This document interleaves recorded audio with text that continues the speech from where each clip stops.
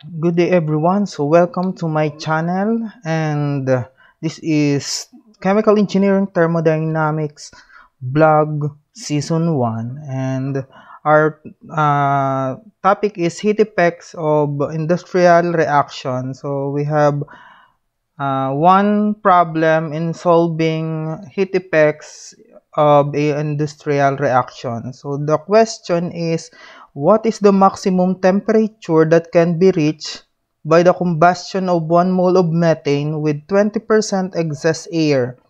Both the methane and the air enter the burner at 25 degrees Celsius.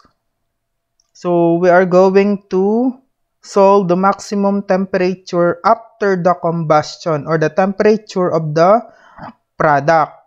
So we have a combustion uh, reaction. So we have methane plus oxygen. So will yield carbon dioxide plus water. So if it is maximum temperature, so there is no heat loss and the delta H is equals to Q.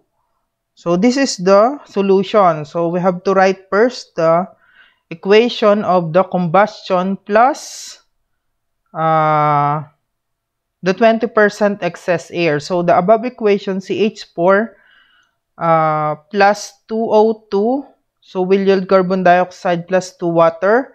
So with the addition of nitrogen gas. So since nitrogen gas is inert, so the the initial amount of the nitrogen gas in the inlet will be the same as in the outlet. Then, with 20% excess air, so we just multiply 1.2 times the number of total of oxygen in the inlet and the same as in the nitrogen gas, which is since nitrogen and oxygen is air. So, in the product part, so we have excess air of 20%. So 20% times the number of moles of the oxygen in the product. Then our basis for this question is 1 mole of uh, methane. So the inlet will be 1 mole of methane, then 2.4 mole of oxygen. So that is uh, 2 plus 20% of the 2 moles of oxygen. Then, the same as 9.03 mole of N2 which is came from the 2.4 mole of oxygen times 79 over 21. Then the outlet is 1 mole of carbon dioxide, 0.4 mole of oxygen gas, which is the excess uh, oxygen. Then we have 9.03 mole of nitrogen, which is the same the inlet and the outlet. So if we uh, balance the nitrogen, so they are the same. So it is inert, so there is no reaction with nitrogen. And the formation of 2 mole of water. Initially, for our first uh, solution, we have energy balance. Q plus shop work will is equals to the change in enthalpy plus the change of in kinetic energy plus the change in potential. So we have no shop work, no kinetic energy, and no potential energies. Our final uh, energy balance equation is Q is equals to the change in enthalpy. But at maximum temperature, Q is equals to 0, so delta H will be 0.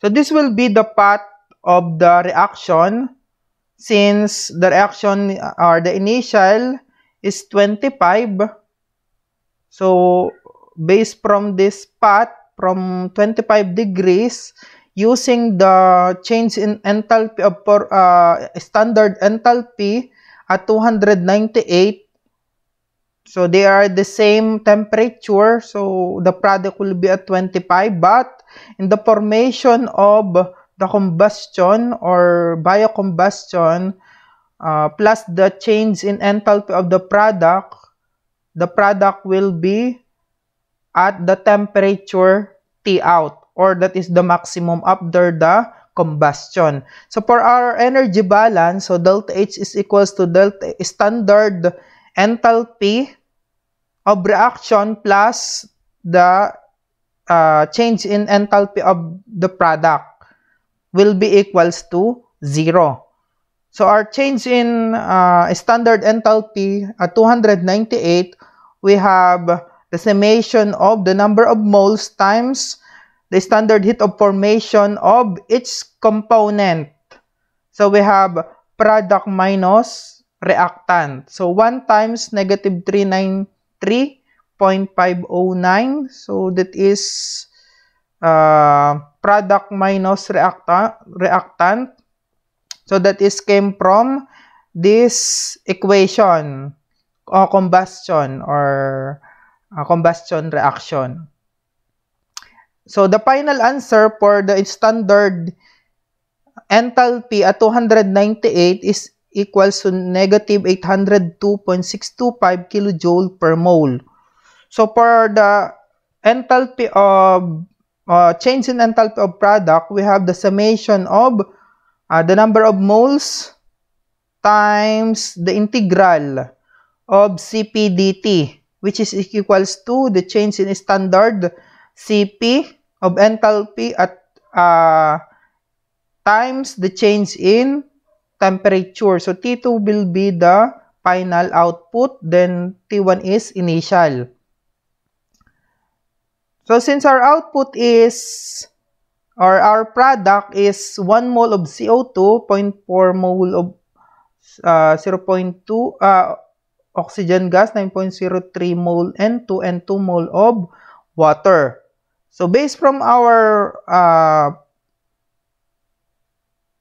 our equation of the change in product, we have R times the quantity of the change in A plus change in B over 2 times T1 times uh, that is tau plus 1 plus change in C over 3 times T1 squared quantity of tau squared plus tau plus 1 plus change, uh, change in d all over tau t1 squared times the quantity of t2 minus t1. So our equation for the change in A, B, and D, we have this equation that is from the table C.1 in Banes, or Chemical in Introduction to Chemical Engineering by Smith, Banes, and Abbott. So we have change in A, we have 43.471, then delta B, and delta D. So after we're going to our, uh, solve for delta A, B, and D, so just substitute the value in the change in uh, enthalpy of the product. So that will be our equation. Then substitute to the energy balance equation, then it will be negative 802 1,625 joule per mole plus 8.314 joule per mole quantity 43.471 plus 9 uh, 9.502 times 10 to the negative 3 over 2 times 298 quantity tau plus 1 minus 0.645 times 10 to the 5 all over tau 298 squared times the quantity of T2 minus 298. So after several substitution, so we have our final equation of T2 is equals to 298 plus 96,539 all over the quantity 44.887 plus 0.00475 T2 minus 216.437 all over over T2. Then after this, we're going to use the iteration method. So this equation will solve by using the method of successive substitution. So since the final product is greater than 298, we just uh, simply uh, iterate by the initial T2 of greater than 298. So let's say 500 degree uh, 500 Kelvin. So after many uh, iteration, so the final answer is 2066 Kelvin or 1793 degrees Celsius. So for our practice problem, what will happen to the outlet temperature if no excess air is used? So you can solve it in your uh, seat. Then you will chat me what is your final answer. So, thank you. And if you have question, just send it to the group chat. Thank you.